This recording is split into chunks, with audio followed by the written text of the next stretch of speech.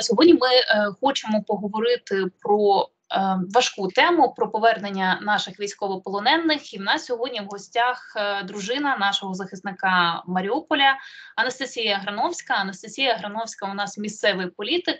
Е, дівчина є депутатом Новомосковської районної ради і чекає свого коханого із полону. Вітаю Настя. Доброго дня. Анастасія, можете розказати про свого чоловіка? Е, опишіть, хто він, щоб ми розуміли, хто наш захисник і за яких е, обставин він потрапив у полон саме у Маріуполі.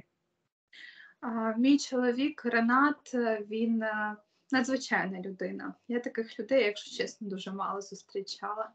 Він добрий, він справедливий, він відображення багатьох якостей, які є в мені. І ви знаєте, одна з його найголовніших якостей це те, що він виносливий, він в міру спортивний і дуже добрий, особливо по ставленню до мене, до донечки, до власної родини. Він з дитинства не мав повноцінної родини, як я, тому він дуже сильно її хотів створити власну. І я хотіла. І, на щастя, мене доля з ним звела. Він захисник Маріуполя, проте вже шість років він боронить нашу Україну. Спочатку у складі 25-ї такої славетної бригади повітряно-десантної, і потім він вступив до підписав контракт у 501-му батальйоні морської піхоти. Він хотів себе спробувати у якості морського піхотинця. Він старший матрос. Це те ж саме, що й старший солдат. Як він опинився в Маріуполі в грудні 2021 року, він зайшов на свою крайню ротацію в Широкіне, це за 15 кілометрів від Маріуполя. Я вже його не бачила майже рік. І 24 лютого застала його на першій лінії ООС за 800 метрів до орків. Я йому зателефонувала тоді, пам'ятаю, о п'ятій ранку спитала, я розуміла, що на нього будуть сперти танки, все, що тільки можна першими. Я його спитала тоді, як, що що відбувається. Він мені спокійним голосом сказав, що все добре, воюємо, не переживай, не турбуйся, все буде добре. Далі а, він не телефонував до 28-го Лютого 28-го зателефонував. Він розмовляв з моїм татом, розказував, як нам краще закрити вікна. Від е, ну, якщо ракета десь поруч прилетить, щоб на нас осколки вікон не не потрапили. Так, було таке. Далі було дуже важко, дуже тяжко. Він сказав, що не знає, коли наступного разу подзвонить, бо йдуть тяжкі бої. Далі він позвонив 1 березня. 1 березня він е, сказав, що точно не знаю, ну взагалі, можливо, скоро дзвонити не буду. У мене був шок. Сказав, щоб я обов'язково берегла себе, берегла доньку. Раптом що тікала з країни, бо якщо Боже борони в наше місто зайшли борки, то то він сказав, що над дружинами військових, над дітьми будуть знущатися в першу чергу. І якщо що, каже, ти маєш тікати, забудь про свої якісь там політичні амбіції, ти маєш тікати перша. Я е, нікуди не виїхала і не виїжджала з країни. Я його чекала, я не могла нікуди виїхати. Як він тут, він воює, а я кудись поїду. Далі пройшло 18 днів з 1 березня, і 18 травня, е, травня, вибачте, березня він мені зателефонував. Це на сьогоднішній день остання була наша розмова вже майже 8 місяців минуло з цієї розмови. Він е, сказав, що воюють. Сказав, я хотіла запитати, чи є йому що їсти, бо по телевізору казали, що маріупольці топлять сніг, аби попити. Я його раз спитала. Він мені сказав, що не хоче говорити на цю тему. А мені ж ну цікаво, що там, як там, як обставин, ну як все складається. Він другий раз мені сказав, що він не буде говорити на цю тему. Третій раз сказав е, жорстко і сказав, що дуже сильно болить шлунок, що він не хоче про це говорити, бо вони вже кілька днів нічого не їли. У мене був шок, чесно. Але він така людина, він сказав, що що якщо в мене є якась змога піти, а, розслабитись десь, каже, іди на масаж. От сьогодні каже, сходи на масаж. От я хочу, щоб якщо у вас там в місті все добре, іди на масаж, каже, розслабся. Можливо, взагалі скоро на тобі триматиметься вся наша родина. Для мене ці слова були шоком. Він назвав усі пін-коди своїх карточок. Він ну, зробив ну, все можливе, аби якось нас обезпечити, і в тому числі і фінансово. Сказав, де в якому банку наші спільні гроші, куди він перевів е, ще 22 лютого, щоб було нам на що раптом ну, жити.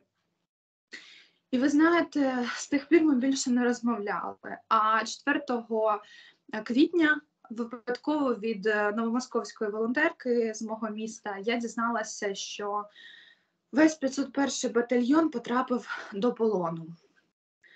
Тоді був шок, нерозуміння того, що відбувається. З одного боку, здавалося, що полон не найгірше, що взагалі могло трапитися в тому Маріуполі. А з іншого, коли я почала занурюватися в цю тему полону, коли я почала дізнаватися, що взагалі коїться в Оленівці, у мене просто був шок. Було дуже тяжко, надзвичайно тяжко. Поліція не хотіла реєструвати кримінальне провадження стосовно а, незаконного, ймовірного незаконного позбавлення волі мого чоловіка. Ну тобто, це були і процедурні моменти, але все ж я домоглася свого. Ми зареєстрували це провадження. А, гарячі лінії ЗСУ там вони. е, Майже не працювали, або туди не було можливості додзвонитися. Я телефонувала вночі, і вдень. І все ж, коли намагалася внести чоловіка в списки на обмін, мені казали, ні, ні, він не в полоні, вони воюють. Нам забороняли лазити по ресурсам орків, казали, що не можна, що заборонено. На що я сказала: якщо от напишете, якщо покажете, де ви заборонили, тоді без питання. Так, поки ви не написали. І на щастя, я послухалася своє серце, я знайшла відео на тих ресурсах, е, де Е, Мій чоловік разом зі своїми побратимами без зброї йдуть з піднятими руками по якомусь незрозумілому приватному сектору. Видно, що ну, вигляд в нього він дуже сильно виснажений, впалі скули. Ну, от що, що взагалі в нього, в нього ніколи не було, от там прям аж впали в скули оці ямочки, скажімо так. Ну, просто був шок. Далі вдалося е, частина мого чоловіка. Обов'язково треба було звернутися до військової частини. Частина взагалі виїхала. Вона розташовувалася під Бердянськом. 2 березня Бердянськ був вже окупований. Частина виїхала в невідомому напрямку. Я її прям це була знаєте ціла спецоперація. Її розшукати, вийти на когось з цієї військової частини, але все ж вдалося. З військовою частиною теж до неї надзвичайно багато питань і про ставлення. Військова частина А1965. А, Хамили фінансисти, розповідали, що я з чоловіком за гроші. За які гроші? Ну, 13 тисяч гривень, вибачте, це не ті гроші, за які я готова бути з людиною, яку не кохаю. Немає таких грошей. А, Ви за гроші ви вийшли заміж за свого чоловіка, чи як це було, да? Так, так, вони і таке розповідали. Ну, як потім виявилося, що не, не одній мені таке розповідали, що всі прям за гроші. Які там в нього гроші? А далі військова частина тишком-нишком проводила службове розслідування, про яке не було попереджено нас як дружин. Ми об'єдналися з дружинами, стали, знаєте, такими сестрами по нещастю. Знаходила кожна гарячу якусь лінію, ми всі туди телефонували. Я писала запити, допомагала іншим запитам. Ми писали і до міністра, і міністра оборони, і до президента України. Куди ми тільки не писали, легше сказати. Власне, реєстрували на всіх гарячих лініях своїх чоловіків. Де тільки що з'являлось, ми, ми вже там були просто. А, власне, ось якось так. І історія полону вона триває.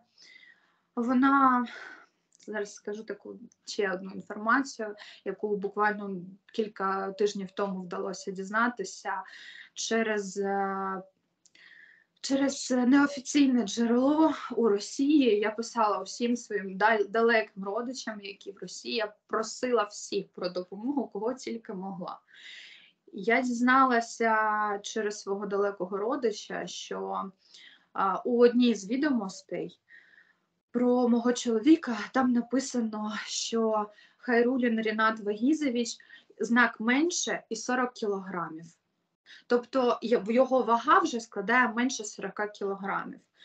У мене був шок, бо чесно, при його зрості, а в нього зріст 1,78 м, коли він в грудні їхав на ротацію, він важив 62 кілограми. Я розумію, що за 7 місяців полону вже восьмий йде. За більше 40 днів е, голодовки в Маріуполі, і не просто голодовка, а ведення запеклих боїв по цьому місту. Це більш-менш реалістична цифра. Я пам'ятаю, як молилася, аби вага мого чоловіка складала хоча б 40 кілограмів, а тут менше 40. На жаль, їх там не зважують. Проте я прошу усіх, хто може допомогти, і нашу сторону, і ту сторону, аби вони мені його повернули. Я його витягну з будь-якого стану.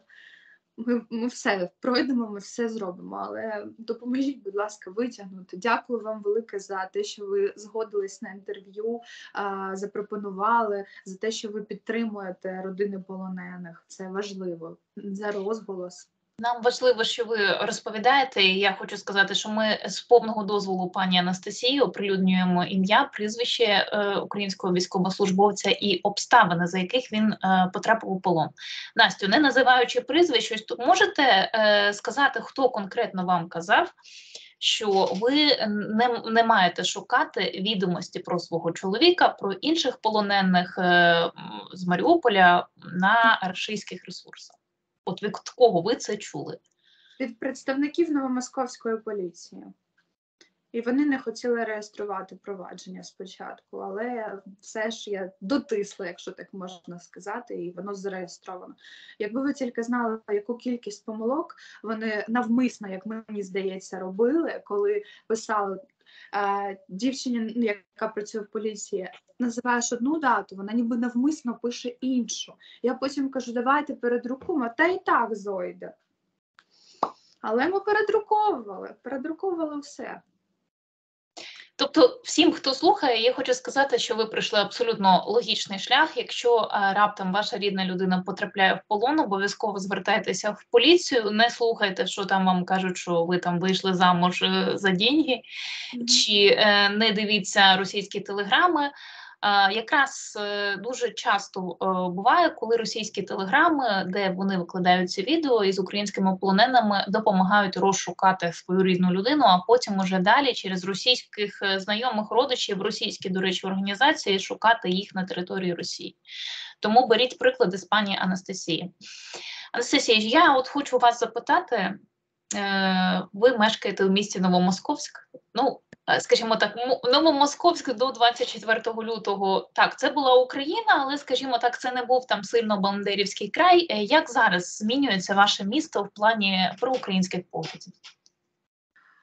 Ви знаєте, був період, е, коли е, я, в тому числі, щоб не зійти просто з розуму, і в період з 1 по 18 березня мої друзі відкрили волонтерський штаб, і я долучилася, і я просто бачила, яку кількість допомоги, яку кіль... яка кількість людей приходить до цього штабу, і всі, хто приносив гроші, хто закрутки, це я була в шоці, якщо чесно. Бо мені також здавалося, що в нас місто, яке у більшості своєму голосує за ОПЗЖ, ну воно не буде так сильно боротися. Проте. Проте я дуже пишаюся своїми громадянами, які живуть в нашому місті, в Новомосковському районі, як районний депутат, то взагалі особливо. А, Вони дійсно деякі переходять на українську. Дуже приємно, коли а, кав'ярні ведуть свої сторінки виключно українською. Це надзвичайно зворушує, правда. А, місцеві там блогери починають вести свої блоги українською. Це дійсно круто. Тобто, місто, я б сказала, правильно перевзувається. І а, я дуже пишаюся. цим. перевзувається, а мабуть, воно переосмислює, еволюціонує трошки. Да? по-доброму, по-доброму перевзувається, і це, це надзвичайно тішить, бо дійсно назва нашого міста бажає, е, можна бажати кращого з такою назвою. Я думаю, що місто декомунізують, тим паче е, Самар його стара назва, і ця назва була ще оспівана у романі Гончара. Ми ж всі пам'ятаємо. Так, е, Анастасія, ще от е, хочеться, давайте от завершимо чимось добрим. Повернеться ваш чоловік. Ми переможемо. Який це конкретно день, я не знаю, буде, але як би ви хотіли відсвяткувати разом своєю родиною, зі своїм коханим нашу перемогу? Знаєте, мені здається, що коли я побачу його особисто, в якому б стані він не був, мені здається, для мене вже тоді настане день перемоги, нашої української перемоги. А коли все все завершиться, і наші хлопці, наші чоловіки, вони перестануть е, просто великою кількістю гинути, отримувати поранення. І, до речі, дозволяться виїзд за кордон. Дуже б хотілося полетіти до Туреччини. Як ми з чоловіком мріяли у березні цього року, ми мріяли полетіти до якоїсь теплої країни, чи Туреччини, чи Єгипту. Ми тоді ще не обрали. Знаєте, кажуть, «Е, треба мріяти конкретно. От тепер ми будемо мріяти конкретно. Хотілося б відчути те тепло, яке, якого нас позбавили в першу чергу. Так, і обов'язково з донечкою, навіть з песиком нашим, якого в мене собачка Йорк, яку називав чоловік, її ім'я Асія, таке гарне, навіть її взяли з собою в подорож. Тож хай ваші мрії здійснюються. Ми постараємося зробити все, щоб ви поскоріше обняли свою кохану людину, свого чоловіка. Це була Анастасія Грановська, дружина захисника Маріуполя, і її коротка розповідь про українського героя. Дякую вам, Настя. Дякую вам.